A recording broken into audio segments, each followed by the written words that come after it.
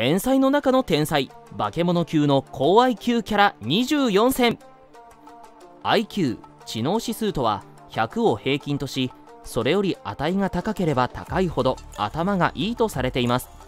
東大生の IQ の平均は120とも言われますが漫画やアニメゲームの中にはそれとは比べ物にならない化け物級の IQ の持ち主がたくさんいます。今回はそんな人間離れした IQ を持つキャラをランキング形式でご紹介していきます。第24位 IQ150 美浜千代アズマンガ大王。10歳の天才少女で飛び級で高校生に。卒業後アメリカに留学する。身長は高校2年生の段階でも133センチで彼女自身は背の低さにコンプレックスを抱いている。性格は真面目で素直で礼儀正しい。そのため基本さん付けで呼んでいる。また負けず嫌いな一面も持っている。お下げで空を飛ぶことも可能。高校の授業も受けている天才だが彼女の印象はとにかく可愛いの一言に尽きる。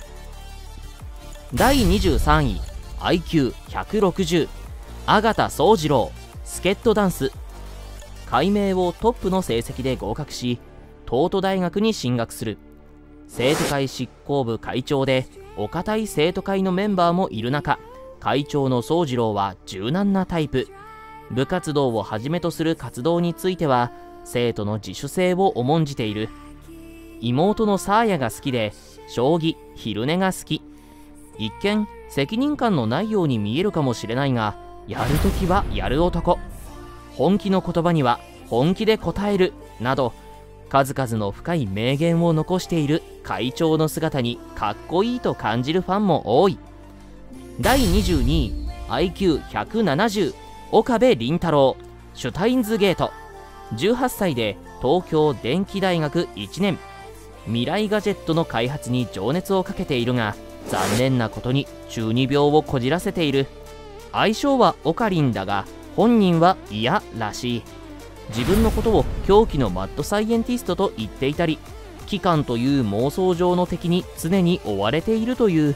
研究以外では中学生のような言動をとる。感情の起伏が激しく頭はいいのにギャグ的要素が強いけれどなんだかんだ愛されキャラとなっています。第21位 IQ170 白金みゆきかぐや様は告らせたい。学年模試で常に1位。全国模試でもトップクラスの天才。ここまでならただの天才キャラだが彼は貧乏な家庭を支えるためアルバイトをしつつ毎日10時間の勉強というとんでもないスケジュールをこなしている。いわゆる努力家タイプの天才。天才タイプに見られるような他人を卑下することもないし嫌味な態度も取らない。その上苦労人なので天才なのに作品のファンからも支持が高い。つい応援したくなるキャラクターでもあります。第20位 IQ179 キルノートン植木の法則。天才だが簡単な作戦に引っかかったりと活躍できず挙句変態扱いまでされた残念な天才。現在は自分の能力の高さに絶対の自信を持っていたが天界人であるキルノートンは幼少期から周りの人間に馴染めずにいた。故に彼の変態を思わせる発言は人付き合いに慣れていないからという面も強い。第19位 IQ180 金田一はじめ。金田一の事件簿。運動が苦手で IQ が180もあるのになぜか成績は毎回ギリギリ。どうやら自分の興味のある分野で進化を発揮する天才のようです。実際に事件が起きた際はいつもの間抜けさがなくなり冷静な洞察力で推理を進めます。きっと彼がいなければ迷宮入りしてしまった事件は数多くあったでしょう。また普段とのギャップに未だ引きつけられるファンも多いのではないでしょうか。第18位 IQ180 ソリッドスネーク。メタルギアソリッド。待たせたな。でおなじみ最強の兵士として名高いスネーク。スネークにはいろいろなシリーズがありますがソリッドスネークは人工的に生み出されました。潜入工作のプロで重火器の取り扱い CQC と呼ばれる近接戦闘やクライミングなど任務のためなら何でもこなします。肉体派のイメージが先行してしまうため意外と忘れがちですがソリッドスネークの IQ は180もあります。まあ複雑な任務をバックアップがあるとはいえ基本的に単独でこなすのです。高い IQ がないと任務に支障が出るのかもしれませんね。第17位 IQ190 雪出薫嘘食い。映画でも有名になった漫画嘘食い。雪出薫はかけろう会員の一人で権力者の犯した罪を着せる懲役ギャンブルを父から引き継ぐ。そして主人公まだらめバクと警視庁の地下で思い出をかけてゲームを開始。親子揃って秩序に取りつかれ秩序を乱す者をアリと呼んで蔑んでいる。このアリの描写は作中によく出てくるので知っている人には印象深いかもしれない。嘘食いの敵ならではだがこのキャラクターも癖が強く天才同士の対戦ではかなりハラハラさせられます。第16位 IQ190L デスノート。主人公の八神ライトのライバルとして大変人気のあったキャラクターです。八神ライトは東大を1位で L は2位で合格した時点で2人の頭の良さはほぼ同レベルだと考えられますね。L は数々の難事件を解決し日本警察をはじめ FBI や CIA の捜査にも協力しています。作中では八神ライトの起こした事件の捜査を任され確実に八神ライトを追い詰めていく姿にドキドキハラハラさせられます。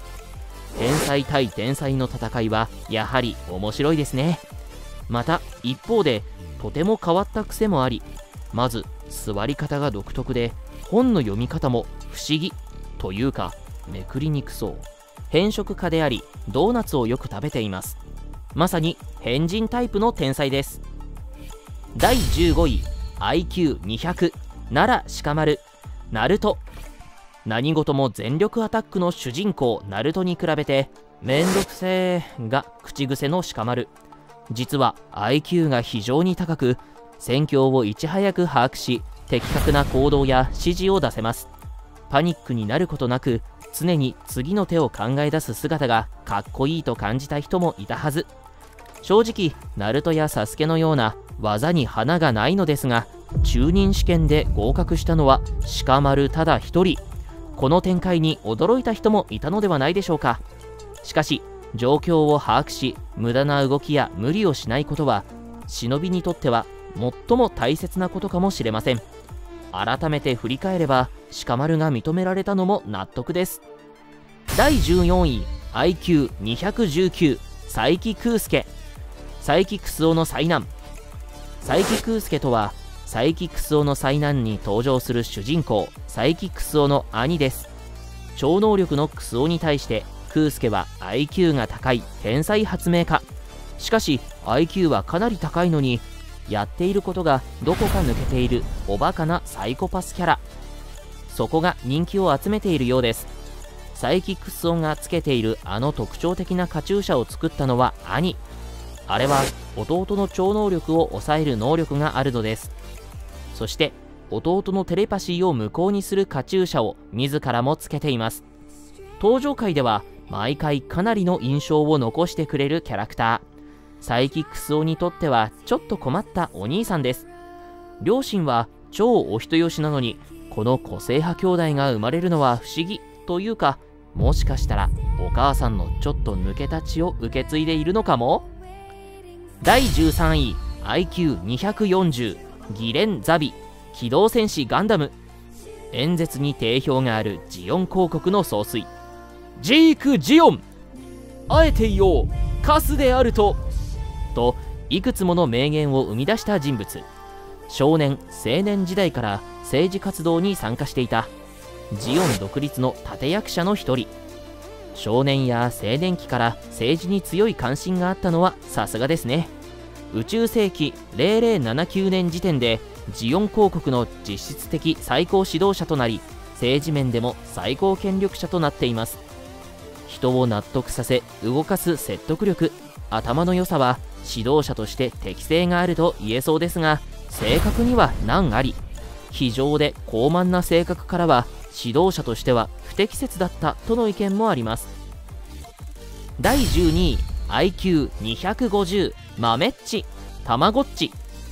たまごっちというとこの豆っちを一番に思い浮かべる人もいるかもしれません。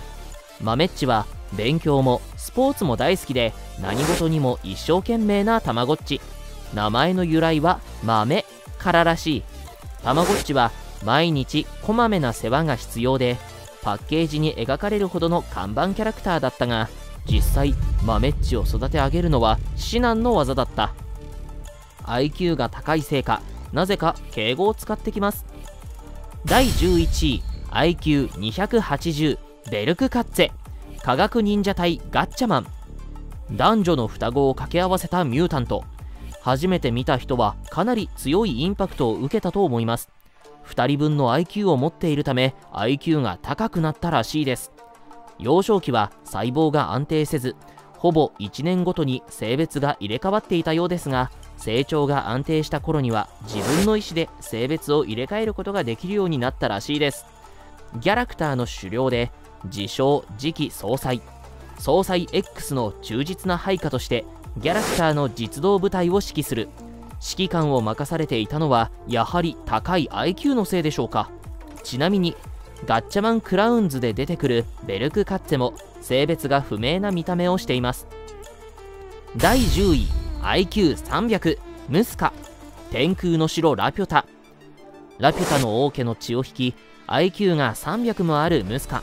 28歳という若さで大佐になり周りからは疎まれていたようですが本人はそんな凡人のことなど気にしていない様子でした。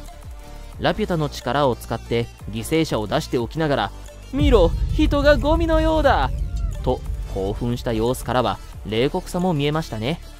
もしムスカがラピュタの力を手に入れていたら今頃世界は大変なことになっていたかもしれません。ガリバー旅行記ではラピュタ人という非常に頭のいい人々が出てきます。ムスカが頭がいいのもこのラピュタ人の血を引いているおかげだったのでしょうか。第9位 IQ365 江戸川コナン。名探偵コナン。数々の事件を解く名探偵。実は父親が世界的ミステリー作家であり出番は少ないものの犯人を特定するなどかなり頭がいい。もしかするとその IQ は父親譲りなのかも。あれだけ少ない手がかりから犯人とそのトリックを暴くのには犯人も毎回驚愕。それだけではなく黒の組織とも対等に渡り合える頭脳の持ち主。さらになぜそんなことまでと思ってしまうほど多くの知識雑学の持ち主です。第8位 IQ380 石神千空ドクターストーン。石化により崩壊した世界ストーンワールドで科学の力でゼロから文明を取り戻そうと奮闘する主人公。そんなこと並の人間ならとてもできないはず。しかし彼は圧倒的な知識量で目的を達成していく。また仲間思いで村の人をまとめ上げ科学王国を率いるリーダーシップの持ち主。作詞や科学者のような側面を持ちながら少年漫画らしい面を持つ異色の天才キャラクターです。第7位 IQ400 カーズジョジョの奇妙な冒険。第2部のラスボスであり究極生物のカーズ。人類が歴史を築くより以前から存在していたとされる柱の一族の一人。石仮面や毒薬を作るなど研究の腕に長けている。腕や足から発光する剣を生やしあらゆるものを切り裂く戦闘術を使いどんな傷も短時間で回復する力を備える。翼を生やすなどいとも簡単に自分の体を変形させてしまうことからその圧倒的強さに絶望した読者も多かったはずです。第6位 IQ450 産屋敷キリア鬼滅の刃。アニメでも大人気鬼滅の刃からの登場です。鬼そしてその元である鬼物寺無惨を倒すための鬼殺隊の最高管理者である産屋敷キリア。産屋敷家の97代目当主で F 分の1揺らぎと呼ばれる特殊な声の持ち主。個性の強い柱たちをまとめいつも冷静な姿にはカリスマ性を感じます。第5位 IQ600 本郷健仮面ライダー。22歳で大学で生物学研究所に籍を置く一方オートバイレーサーとしても活躍していたがある日悪の秘密結社ショッカーに改造されてしまう。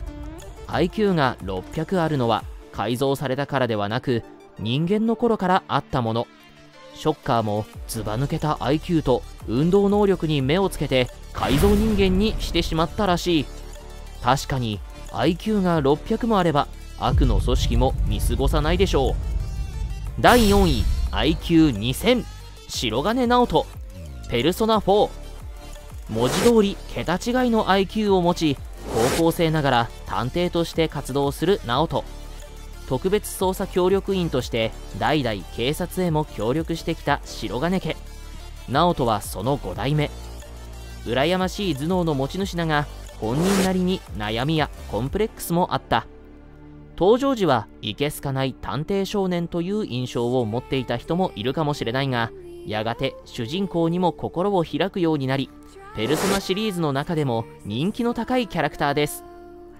第3位 IQ3000 フーディンポケットモンスター。ユンゲラーの進化系エスパータイプのポケモン。超能力を使えるせいかとてつもない IQ だがなんとメガ進化させてメガフーディンになると IQ は5000になる。さらにメガフーディンは死ぬまで脳細胞が増え続けあらゆることを覚えておけるらしい。第2位 IQ1 万初代ウルトラマンウルトラマンシリーズ。先ほどのフーディンといいもはや人間には到底及ばないような IQ を持っている。さらにメフィラス星人は IQ1 万以上を持っているそうです。比べようのないとんでも数値だが宇宙規模で考えるとロマンをも感じそう。第1位 IQ1 万2500バカボンのパパ。天才バカボン。知っている人もいるかもしれませんがバカボンのパパはもともととてつもない天才。ここまで IQ が高かったのも驚きですがバカボンのパパが誕生したエピソードもすごい。お母さんはバカボンのパパを3年も身ごもり生まれたと思えばいきなり歩いて天上天下唯が独尊と話し出す。